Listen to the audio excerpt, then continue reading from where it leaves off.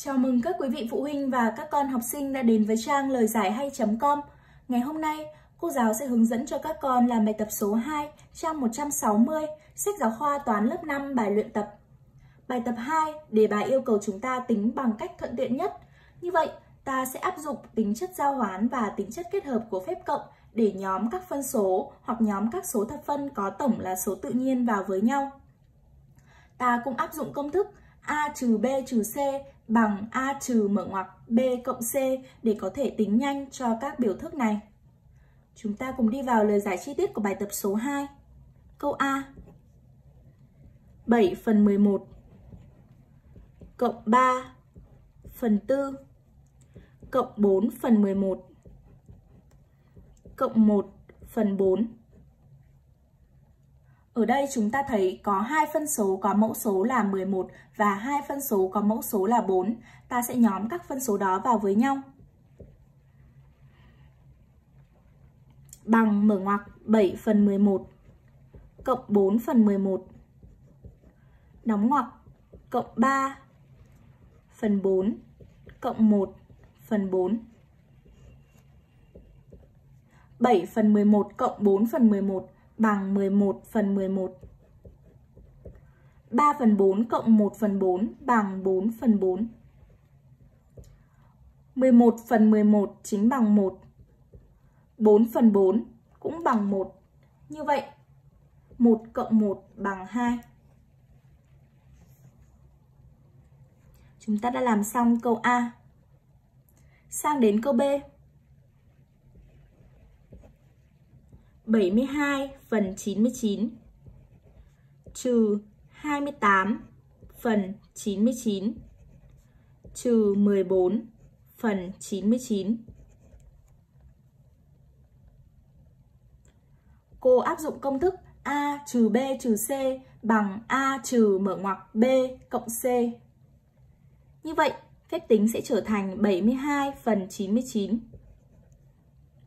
trừ mở ngoặc 28 phần 99 cộng 14 phần 99.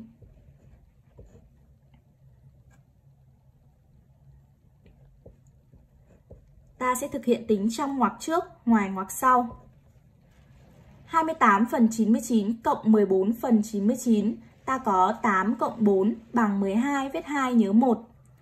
2 cộng 1 bằng 3, nhớ 1 bằng 4, viết 4. Như vậy, cô được kết quả là phân số 42 phần 99. 72 phần 99 trừ 42 phần 99 bằng 30 phần 99. Đây chưa phải là phân số tối giản, vì vậy cô sẽ chia cả tử số và mẫu số của phân số này cho 3. 30 chia cho 3 bằng 10, 99 chia cho 3 bằng 33. Cô được kết quả là phân số tối giản 10 phần 33. Sang đến câu C. 69,78 cộng 35,97 cộng 30,22.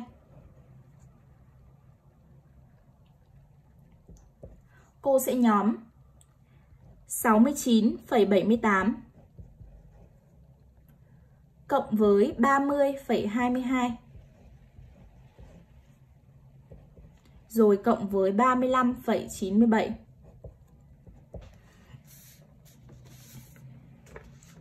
Ta đặt tính 69,78 cộng 30,22. 8 cộng 2 bằng 10 viết 0 nhớ 1. 7 cộng 2 bằng 9 nhớ 1 bằng 10 viết 0 nhớ 1. 9 cộng 0 bằng 9 nhớ 1 bằng 10 viết 0 nhớ 1. 6 cộng 3 bằng 9 nhớ 1 bằng 10. Viết dấu phẩy ở tổng, cô được kết quả bằng 100. 100 cộng với 35,97 bằng 135,97.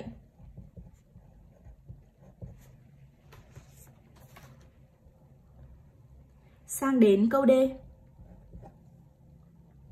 83,45 trừ 30,98 trừ 42,47 cô áp dụng công thức giống như câu B.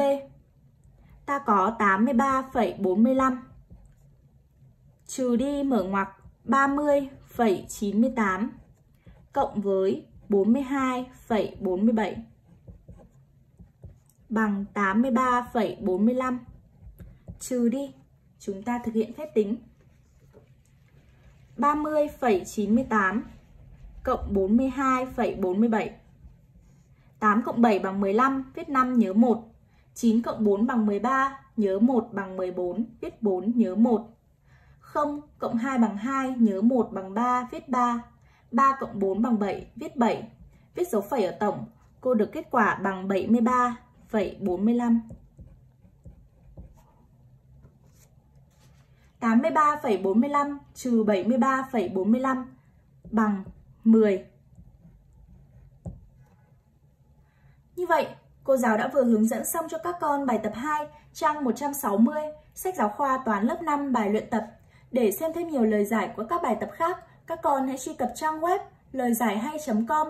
Cô chúc các con học tốt!